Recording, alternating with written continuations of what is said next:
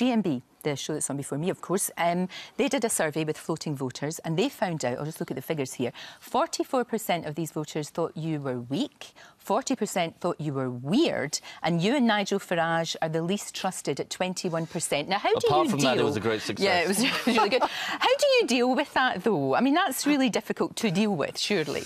Well, look, that's not my impression from what I'm getting from people as I go around the country. I think people are understanding and seeing the real me rather than the caricature. Um, and uh, I think people are hearing what we're talking about and the way we want to change the country. And, you know, I've probably said this to you before, I'm not trying to win a photo opportunity competition, and if I did, I probably wouldn't win it.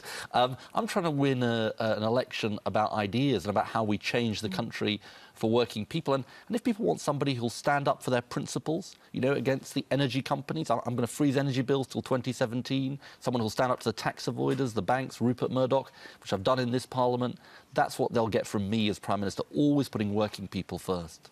Now, look, I have to talk a bit to you about your new status as a sex symbol. I feared you might. I, it's not that funny. I'm sorry. I'm sorry, I shouldn't laugh. That's really rude. You're as Um, surprised as my wife, I think, about it.